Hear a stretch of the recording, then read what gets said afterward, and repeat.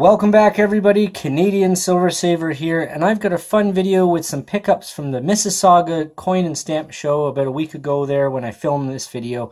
Uh, just been busy getting ready for the life changes that are happening and uh, just trying to get these videos done in a timely fashion, but I am a little bit behind. So there's lots that I've got uh, ready to come, so stay tuned for, for that as I catch up. But this, uh, let's get right to it here, and this is a, um, I'll show you here, there's four coins that I've got here, and this is part of a 24 coin series uh, that came out in 1991 uh, from World War II aircrafts. This one here is the Japanese uh, aircraft featured in the series, one of them. The Ki-61 Hein, otherwise known as the Flying Swallow or the Kawasaki Ki-61 Hein. Um, and it was the Japanese aircraft during World War II used by the Imperial Japanese Army Air Service. Uh, the Ki-61 looked so different than usual uh, Japanese fighters that the Allies actually believed it was either German or Italian originally when they saw it. They did not realize it was a Japanese plane. Look at the details in that coin though, you'll see. As it's flying over the mountains there, see the other, the other plane down below it.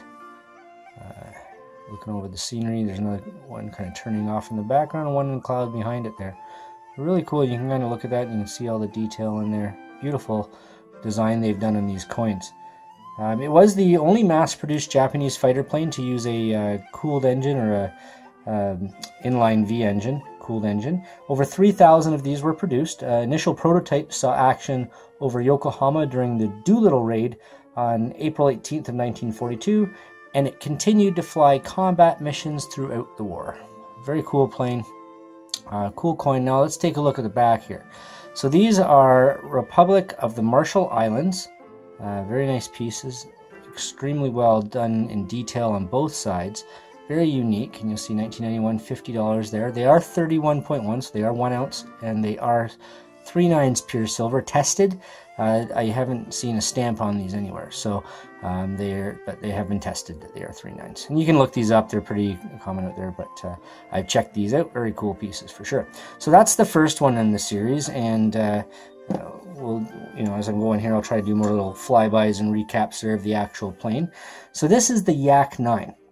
So the Yak 9 in the series, and again, they have all have the same Marshall Islands back, but it's still such a beautiful design such a well done coin on both sides, or I guess round technically.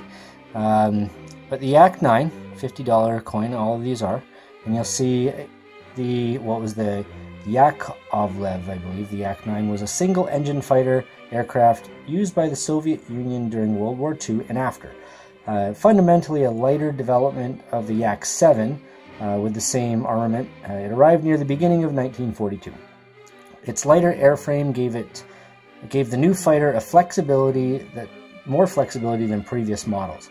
The Yak-9 was the most mass-produced Soviet fighter of all time, and it remained in production from 1942 to 1948.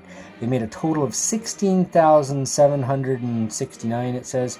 Uh, total built during the war was 14,579, so a lot built just during the war. Following World War II, it was used by the North Korean Air Force during the Korean War. But again, you'll see here some really cool detail. You can see it's done some type of, there's a maybe an explosion or bombing that's been happening there and uh, overlooking this, the city below. Cool piece, cool coin, and uh, again, just something a little bit different. Um, I'd love to see all these coins in the series, but I only I've only seen the uh, the four uh, so far. I've looked them up, but uh, in in my hand. So the next one here, the SM79 Sparviero, uh, it was actually the so Savoia Mar Marchetti SM79 Sparviero, uh, which is Italian for Sparrowhawk. Uh, a very interesting design on this plane, and uh, now this coin, I think, uh, not quite as much detail in it. Really, it's a lot more simple. Don't have much going on in the in the you know the countryside below there. It's very very far down. Uh, minor details. The planes are well done. There's three of them there. Um, they've made sure to show a few of the features uh, to really show the, the difference in this plane. But uh, it was a three-engine Italian medium bomber developed and manufactured by an aviation company, uh, the Savoia Marchetti. It used to be best known, the best known Italian aeroplane of the Second World War. Uh, it was recognizable due to its distinctive fuselage dorsal hump, uh, that little bump there underneath which was something unique on that one. Uh, and it was uh, reportedly well liked by its crews. Uh, they nicknamed it the Gobbo Maledetto, which is the damned hunchback. Uh, the SM 79 had originally been developed during the early 1930s uh, as a low wing monoplane employing uh, wood and metal structure. structures, really basic design. It was designed uh, with the initial intention to produce a quick eight passenger tra- transport aircraft, um, uh, capable of besting uh, similar planes at the time. Uh, however, the project quickly attracted the attention of the Italian government for its potential as an armed aircraft. And uh, the SM 79 saw its first combat during the Spanish Civil War. Um, and in, during that time, it operated without fighter escorts, normally relying on its relatively high speed to evade interception, uh, basically just a quick plane. Almost 600 SM-79 ones and two aircraft were in service when Italy entered the Second World War uh, during May 1940. Uh, the SM-79 was operated in various different capacities during the Second World War. Initially, the type used was a transport aircraft, like mentioned, and then a bomber. Uh, a specialized drone version of the aircraft, flown by remote control, was also developed, uh, which is quite interesting considering that was in the 1940s. Um, but the armistice with Italy was enacted prior to any operational development, so that was canned. Uh, it was the most numerous Italian bomber of the Second World War, uh, around some 1,300 of them were, con- were constructed, built, and uh, they would remain in service until 1952. So there it is. Cool piece. A little bit more history on that one. It has a little bit more of a background behind it that I uh, found interesting. And now we go on to one that many, many people know. It's the Spitfire. Now the Spitfire uh, is called the sub. What's it? The submarine Spitfire uh, is the full name of it. And again, uh, unfortunately, I think this is probably the simplest design of all the coins, which really highlights. Come on, which really highlights the uh, you know the the plane itself, and it's so famous and so popular.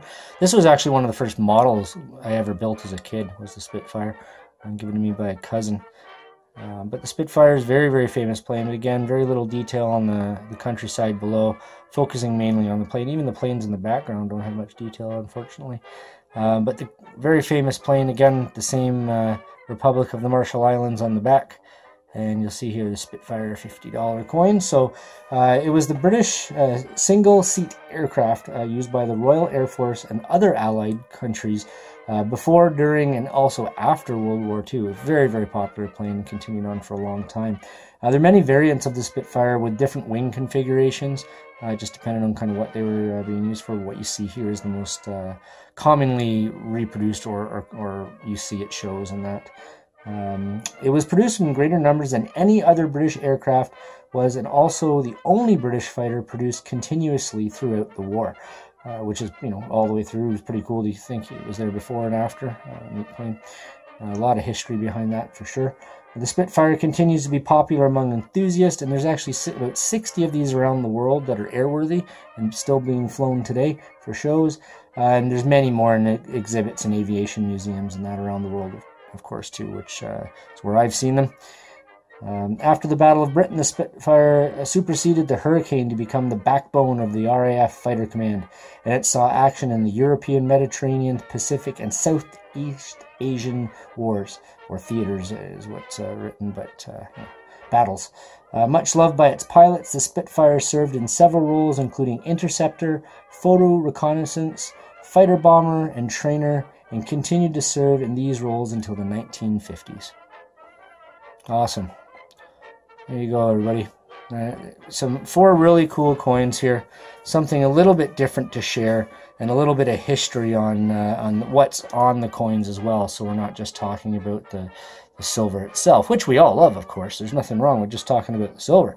Um, but these are four coins that if you were to pick something up like this and give this to your, your children or grandkids or nieces, nephews, cousins, friends, whoever it may be, this is a great way to help people get into investments. And also, uh, you know, if they're into airplanes or they're a veteran or they've, they love, uh, they, are a pilot, they've been in, they've served in the war, uh, or in any, any, capacity. I think this is a great way to uh, honor that, kind of touch on something that they that is close to them as well, while also uh, helping people learn about investments because it sparks that conversation. So it's like, oh, that's cool, that's a coin. Oh yes, but this is pure silver, and uh, let's talk about that, right? So cool pieces here. I hope you enjoyed that feature. Something a little bit different to highlight today. I've got more features coming up from the that I picked up at the Mississauga Coin and Stamp Show, so stay tuned for that. I'm going to try and get a couple videos up in a couple days here. And uh, if you have any questions, send, send them to me. Make some comments down below. Hit that thumbs up button. And while you're at it, if you like what I'm doing, hit that subscribe button. And thanks for hanging out, everybody. Stay tuned, and we will talk to you all soon.